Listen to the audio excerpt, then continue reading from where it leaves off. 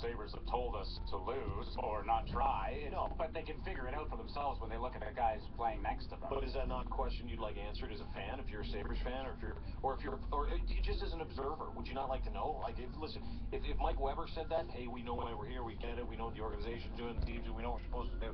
It just sucks. Questions to ask. Sure is funny though. Time for the top five things you need to know today. Brought to you by Brady and Walker. Listen and watch starting Monday from 1 to 4 on Sportsnet 590 The Fan and Sportsnet 360. Uh, number five, last night in the NHL. He slides it off for. Ripped it into the net.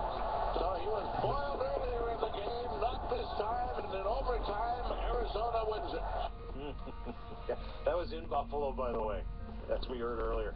Arizona beating Buffalo in the McDavid Bowl. Sabres fans loving it. Elsewhere, uh, Andrew Hammond, the Hamburglar. I don't like saying that. Just going to call him Andrew Hammond. Uh, he was pulled as New York hammered Ottawa 5-1. Winnipeg won 5-2 over Montreal. Kings won yet again, as they do this every year, 3-2 over the Oilers. Uh, more NHL action tonight. Stars are 9.30 on Sportsnet 1. The OHL playoffs uh, kick off as well on Sportsnet.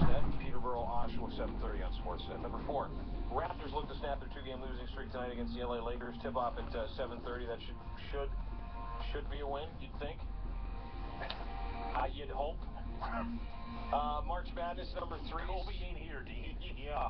Uh, Sweet 16 action last night. All the favorites moved on. Notre Dame, Wisconsin, Kentucky, and Arizona head to the Elite Eight. Tonight, UCLA, Gonzaga, NC State versus Louisville, Duke, and Utah, and Michigan State against Oklahoma. Doug Gottlieb joins us next to discuss from CBS Sports. Number two, Jays beat the Phillies 4-1 yesterday. Aaron Sanchez was great again. Uh, gave up one run on two uh, hits in five innings earlier in the day. Steve Delabar sent down. He doesn't sound too pleased about it. I'm really not happy right now. I, I didn't think that I would have to be a reserve player or a guy that, that was going to have to come in place for somebody that's not getting the job done. I thought it